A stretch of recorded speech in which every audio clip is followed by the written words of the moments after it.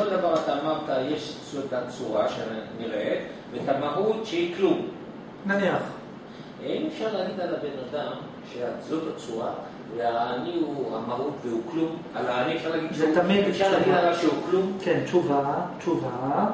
תלוי איזה סוג של כלום, עוד פעם, כלום מוחלט או כלום יחסי.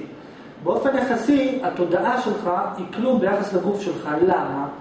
כי אתה, כפי שדיברנו קודם, אתה מגדיר משהו כדבר שנתפס בחושים הגשמיים. מאחר שאתה לא רואה את התודעה שלך, ואין שום דרך להוכיח שאתה לא רובוט, אתה יכול להוכיח שהוא לא רובוט, אין לך דרך, כי אתה אף פעם לא ראית את התודעה שלו. לכן אתה אומר, תראה, התודעה שלו היא כלום, כי אני לא רואה אותה. הגוף שלו הוא משהו, כי אני רואה אותו. אבל הכל השאלה, למה אתה מגדיר כלום, למה אתה מגדיר משהו. אבל גם הרצון שלך הוא משהו, גם הכלום הזה הוא משהו, זה תמיד משהו. זה לא מהות שונה, זה לא מהות שונה מאשר המהויות האחרות.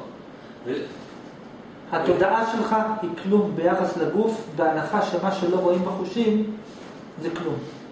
אה.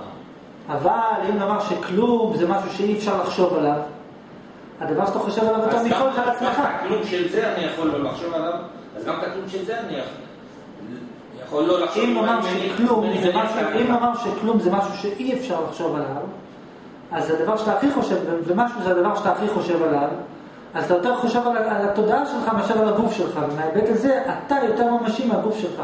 הקיום שלך יותר ממשי מהגוף שלך, זאת אומרת, אתה יכול להגיד אולי אין לי גוף, אבל זה שאני קיים זה בטוח. זאת אומרת, תלוי מה אתה מגדיר כמשהו ומה אתה מגדיר כיש, מה אתה מגדיר כאין. אוקיי, לא, אני אגיד לך, מבחינתי יש איזושהי הוויה שכל הכלומים מרוכזים שם. מה- ומה יעשו? כל הכלומים מרוכזים, השאלה אם הכלום שלי והכלום הזה גם הם שם, והרי הכלום, הכלומים זהים זה לזה. הבנתי את השאלה שלך, התשובה היא שכן.